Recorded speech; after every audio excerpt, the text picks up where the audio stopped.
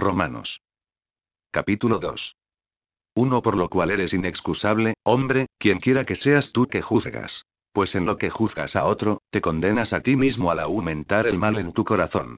Porque, tú que juzgas haces lo mismo. 2 Pero sabemos que el juicio de Dios contra los que practican tales cosas es según la verdad. 3 Si piensas esto, hombre, tú que juzgas a los que tal hacen, y haces lo mismo, que tú escaparás del juicio de Dios. 4 O menosprecias las riquezas de su benignidad, paciencia y longanimidad, ignorando que su benignidad te guía al arrepentimiento. 5 Pero por tu dureza y por tu corazón no arrepentido, atesoras para ti mismo para el día de la revelación del justo juicio de Dios, 6 El cual pagará a cada uno conforme a sus obras.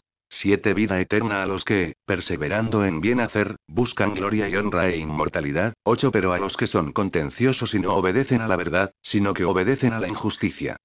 9 Tribulación y angustia, y sobre todo ser humano que hace lo malo, el judío y también el griego. 10 Pero gloria y honra y paz a todo el que hace lo bueno, al judío y también al griego.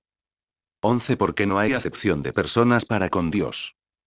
12 Porque todos los que sin la revelación de la ley de Dios han pecado, sin la revelación de la ley de Dios también perecerán. Y todos los que bajo la ley y la voluntad de Dios han pecado, después de haber pasado por el sueño de la muerte, por el anciano de días, basado en la ley y la voluntad de Dios, serán juzgados. Y si no han sido justificados por Dios, ni lograron fusionarse con el Espíritu de Dios, perecerán. 13 Porque no son los oidores de la ley y la voluntad de Dios los justos ante Dios, sino los hacedores de la ley y la voluntad de Dios serán justificados.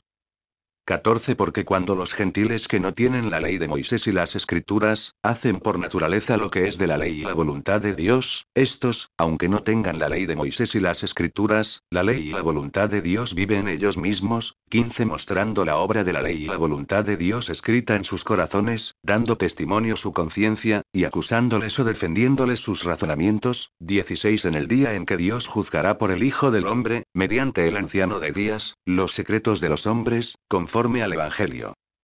17 Tú tienes el sobrenombre de judío, y te apoyas en la ley de Moisés y las escrituras, y te glorías en Dios. 18 Y conoces su voluntad, e instruido por la ley de Moisés y las escrituras apruebas lo mejor. 19 Y confías en que eres guía de los ciegos, luz de los que están en tinieblas. 20 Instructor de los que no saben, maestro de niños, que tienes en la ley de Moisés y las escrituras la forma del conocimiento y de la verdad. 21 Tú, pues, que enseñas a otro, no te enseñas a ti mismo.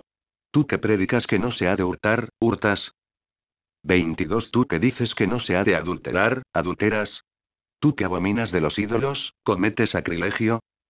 23 Tú que te jactas de la ley de Moisés y las escrituras, con infracción de la ley y la voluntad de Dios, deshonras a Dios. 24 Porque como está escrito, Dios es blasfemado entre los gentiles por causa de ustedes. 25 Pues en verdad te aprovecha, si guardas la ley y la voluntad de Dios. Pero si eres transgresor de la ley y la voluntad de Dios, en nada te aprovecha. 26 Sí, pues, el incircunciso guardaré las ordenanzas de la ley y la voluntad de Dios, en verdad le aprovecha. 27 Y el que físicamente es incircunciso, pero guarda la ley y la voluntad de Dios, llegará a ser hijo de Dios. Pero tú no, que con la letra de la ley de Moisés y con la circuncisión eres transgresor de la ley y la voluntad de Dios. 28 Pues es judío el que lo es exteriormente, es la circuncisión la que se hace exteriormente en la carne. 29 Pero es hijo de Dios el que lo es en lo interior, y la circuncisión es la del corazón, en espíritu, no en letra. La alabanza del cual no viene de los hombres, sino de Dios.